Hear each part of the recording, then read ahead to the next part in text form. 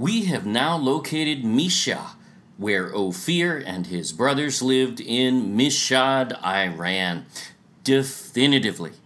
Let's take a look at where they migrated Safar, a mount of the east. Now, those are two different references. In this video, we will cover Safar. But where does this lead? This will astonish many.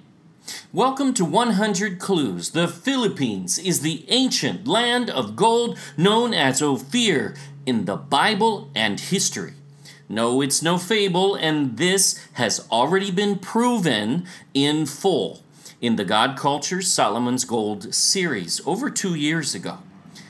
At the request of many viewers, we have pulled out 100 compelling clues, really proofs or evidences, from this research in which we will highlight briefs of the most compelling points, and yes, there are over 100. These videos are for those especially who have not had the time to watch Solomon's Gold series, and easy to share to friends and family, especially skeptics. This brief video cannot replace that 50 video series nor prove the way that it does, but this will be very effective nonetheless. So go there for full evidence. But now, part 9 of our series 100 Clues The Philippines is Ophir, one clue at a time. We know King Solomon built a navy to go to Ophir for gold and resources.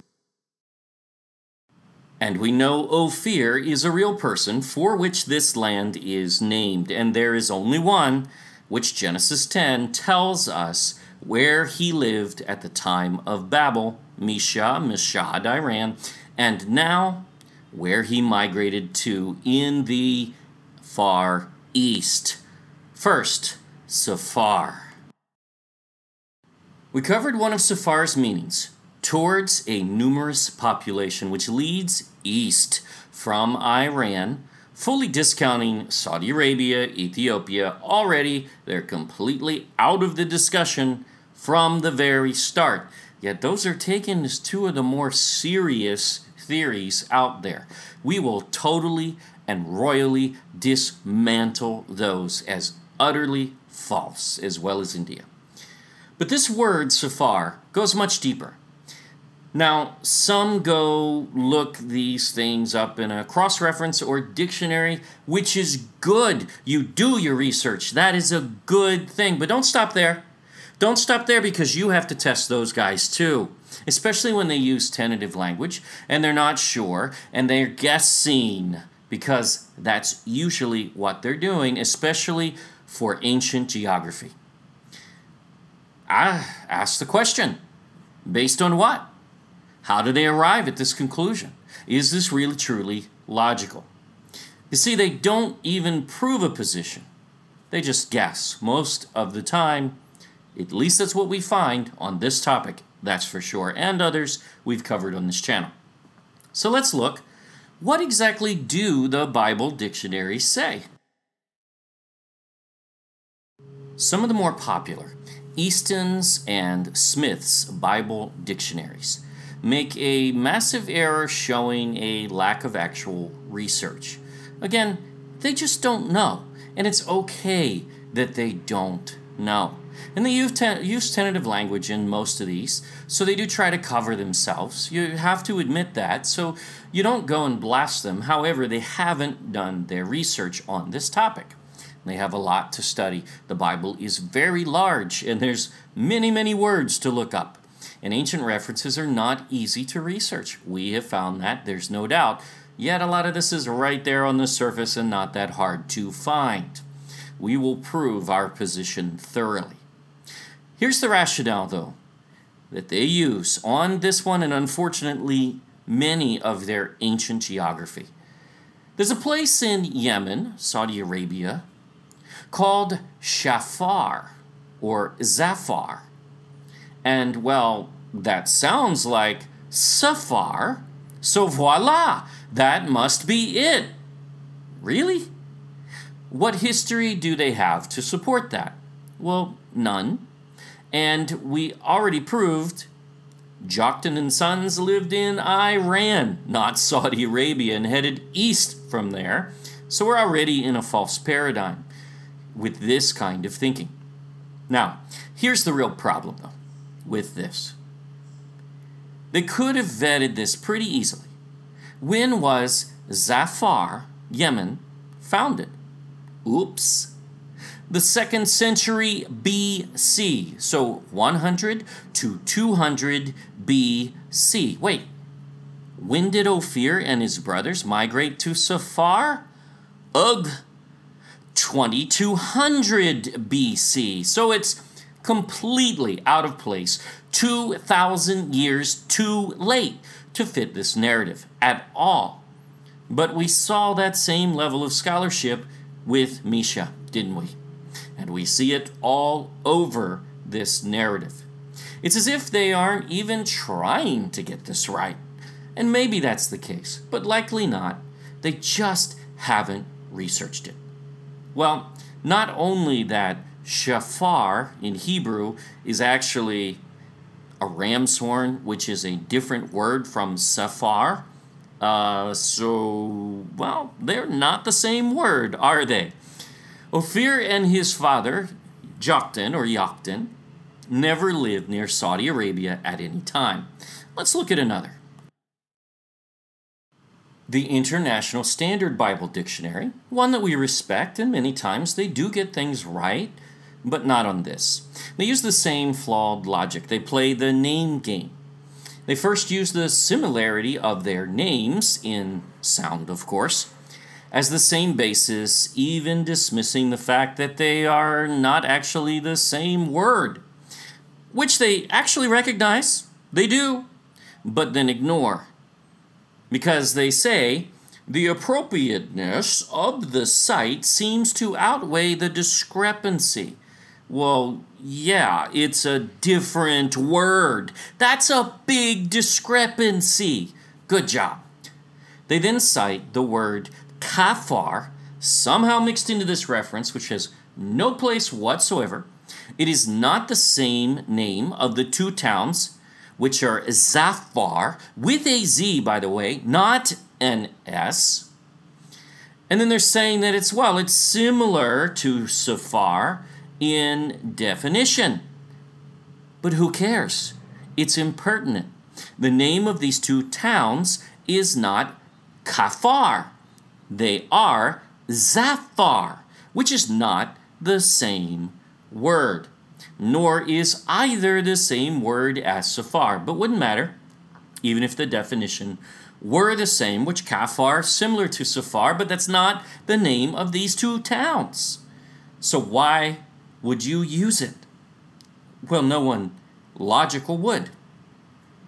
The towns are both Zafar, not Safar, not Kafar.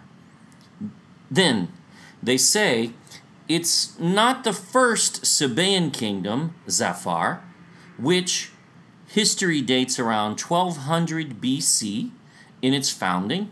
Oops. Ophir migrated to Safar in 2200 BC, so this is meaningless again, off a thousand years too late. However, they do admit they don't know as they use tentative language throughout the whole article.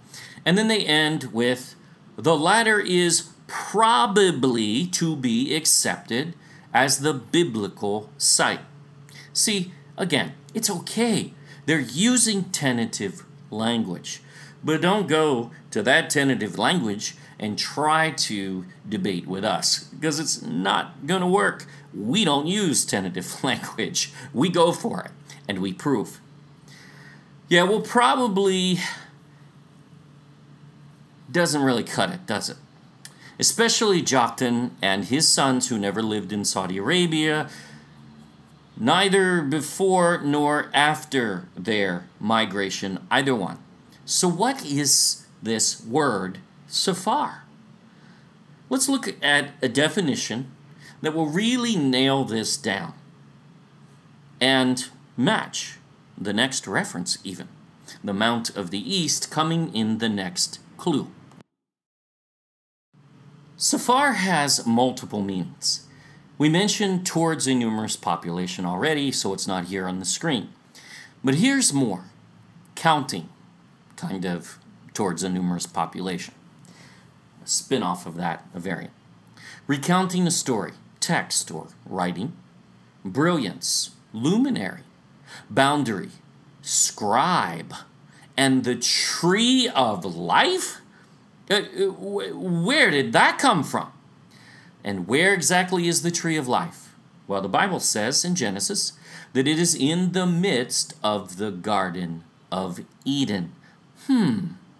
Now, here's the thing what do all of these definitions have in common? They all lead to the same place in the east where the Garden of Eden was planted. As with most extremely ancient words, they take on all of their defined meanings. We covered counting toward a numerous population means it would be in the direction of the east from Iran.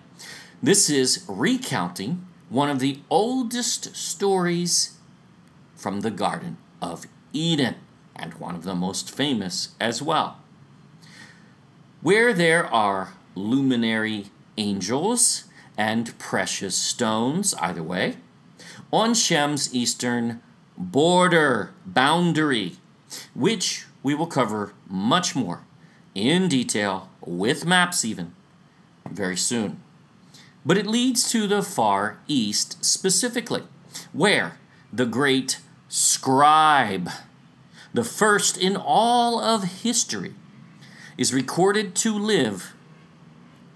Enoch, the seventh from Adam, was taken one day and was not, for God took him in the book of Jubilee, says he was conducted into the Garden of Eden. Now we'll get to that reference, we'll show you, don't worry.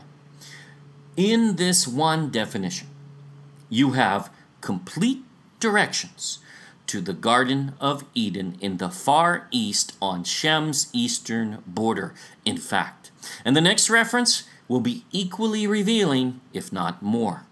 Ophir was returning to the land of the Garden of Eden, and we'll prove that way further. The land of Adam and Eve, where the first record of gold biblically exists. Coming soon, we'll get to that in more detail. The word Sephar is a huge key here, and there is so much that this opens. You know, early in Solomon's Gold series, when we had proven that the Philippines was Ophir, we were already seeing some references that kept leading to the Garden of Eden, but we just pushed them to the side and we didn't go there. Many Filipinos told us that that's not all this is, that the Philippines is the Garden of Eden. That's found there. Now, honestly, we backed off from that. We rejected that at first, thinking even if it were true, we may never be able to actually prove it, and we like to prove things here. But wait till all this comes together. We actually find even exact directions to the Garden of Eden, but it's too early to go there. Next, the Mount of the East. What is it? Is the Bible being brilliant here? and telling us exactly where Ophir is? Oh, it nails it down pretty good. But you'll have to watch more clues to get there and pull them together. As we keep saying, there is no debating. The Philippines is the land of gold in all of history. After just nine short videos, there really is no doubting that the Philippines is this ancient land and no one else qualifies, nor does anyone have the history, and we have hardly even covered anything yet. We're just getting started, not even 10% of the way through. It is time this knowledge be restored for those about to comment in ignorance. Yep, we always get them. We dare you to watch Solomon's Gold series by The God Culture, the original channel to prove the Philippines is in fact Ophir. And hey, go ahead as a skeptic. Try to prove it wrong. We dare you. Because no one has been able to do that. Even here, we are breaking these into sound bites and clear points, but watch how all 100 clues tie together in history, the Bible, science, geography, language, etc. And this series will blow your mind. Thank you for watching 100 Clues. Please subscribe to our YouTube channel. Don't forget to click the bell and like us on our new Facebook, The God Culture hyphen original. If you wish to skip ahead, go to the God Culture YouTube channel and watch their Solomon's Gold series in English or Tagalog. There will be a link on the next screen. We can know this truth and be confident this belongs to the Philippines, and no one can dispute it. Until next time.